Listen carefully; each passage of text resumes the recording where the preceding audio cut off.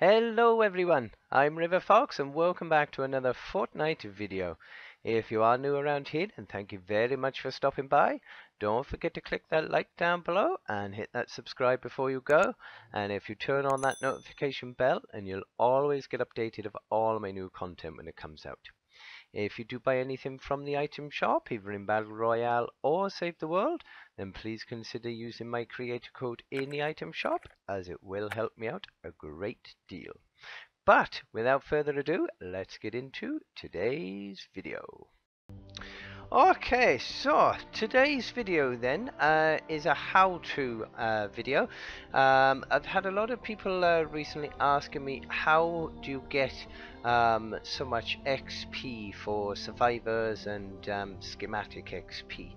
Um, the the short answer is lots of grinding. Um, there are, if we just go into the map, now we've gone in on uh, a Stonewood first of all, just for anyone who is still in Stonewood. Um, now, the um, the four-person missions are normally the best. They do normally give the uh, the best rewards. Like this one here, we have uh, four times schematic XP. Um, we've got two lots of 440 hero XP. Um, now, when you are in Stonewood, um, the rewards aren't um, fantastic rewards, uh, but then as you're starting out in, in Stonewood uh, early on, you don't need a vast amount. It's only when you start going in uh, um, really sort of late Plankerton, uh, Canny Valley and Twine Peaks that you really need um, your XP. But if we um, we just have a look here now, of course we got this one with the uh, the four times schematic XP. That's on a, a four person mission. Um, if we just have a, a quick look around uh, some of the uh, um, missions that we've got available. Uh, like this one here, retrieve the data. You've got two lots of schematic XP on there. Um, now you won't know exactly how much um, of a reward you're going to get until you go into the actual uh, mission um, and complete it. Um, so it's, it's difficult to say exactly um, how much you will get. But there's another one there with schematic XP uh, double as well. Um, now I will go into um, this four-person mission because one of my daily challenges is to do some missions in Stonewood. So I'm going to go ahead now and uh, do this four-person uh, mission. Um, it is a level 5 so chances are I could probably solo it but um, I'll go in with some other people. We get this done as quickly as possible and then I'll show you what rewards um, you will get from it. Okay so this is the loot now that I've got from that uh, mission uh, that we went into. So we got a level 4 loot which is okay. We had some good schematic XP in that. I got my pieces of cake, got my normal tickets, that's my uh, ninja. Okay. There we are. We got 880 uh, hero XP as well. And of course we had a mini boss in it as well. So I got an evolution cache with uh, two pure drops of rain. Lovely. Right, so that was the Stonewood mission. Um, now, if we go back in on this map here, now you will notice that uh, the additional XP now isn't there. Because you've done this mission now already, um, you will only get the normal 4 times schematic XP, you won't get the additional. Uh, but that uh, that's from that Stonewood mission, so let's just have a quick look in the Plankerton.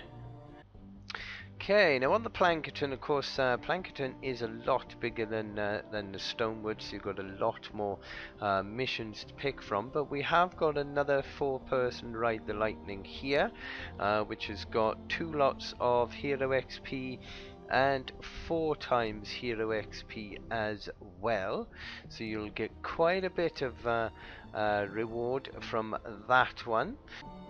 Now we have got a uh, another Fight the Storm here, uh, which has got um, sorry double schematic XP on it, and there's another four-person mission here, which is apart from having two lots of pure drops of rain, you also get four times schematic XP on this as well. Okay, and we've got a repair the shelter that's got two lots of survivor XP, and there's also another four person mission here which will give you four times survivor XP. Um, if we just quickly go into the Canny Valley, of course this uh, being the next one up, um, does normally give uh, pretty decent rewards in these ones. Let's just have a quick look through. Okay, now this one, uh, which albeit is a, a level of 70, uh, this four-person mission that will give you uh, 20,625 hero XP times 2, so you'll get quite a, a, fair bit from that one if you can go into those. Uh, this one's got 4 times survivor XP, uh, it's got double survivor XP, there's 4 times schematic XP on this one.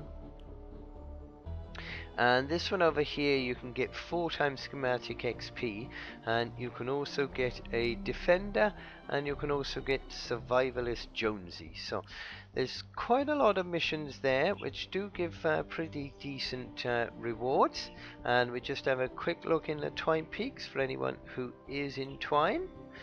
Let's have a look. Uh, these have all got double hero, double schematic, uh, four times hero XP on that one.